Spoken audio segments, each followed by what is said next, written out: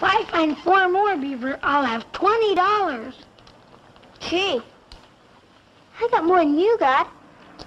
But I only got three dollars and sixty cents. That's because I'm making believe mine are quarters. I think I'm gonna make believe mine are fifty cents.